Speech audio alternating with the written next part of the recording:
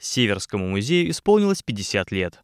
Учреждение образовано 22 апреля 1970 года, в столетие со дня рождения Владимира Ленина. Поначалу это был народный музей. Со временем из одной комнаты он превратился в просторное учреждение с выставочным залом, в котором сегодня хранятся более трех с половиной тысяч экспонатов, подаренных жителями района.